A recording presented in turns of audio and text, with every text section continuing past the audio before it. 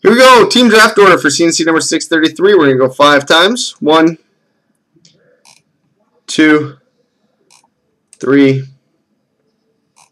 four, five. Copy and paste.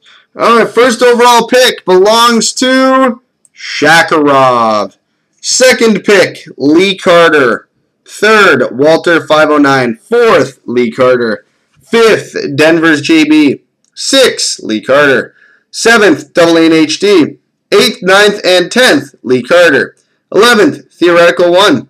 Twelfth, Lee Carter. Thirteenth, Lloyd Guard. Fourteenth, Tekmar. 15, 16, 17, Lee Carter. 18 and Fam 19, Green Dog. 20 and 21, Lee. 22, Reckless. 23, The Pickle Bunny. 24, Frosted Tips. 25, Lee. 26, Yeti 56, 56, 27, Theoretical 1, and 28, Sambo.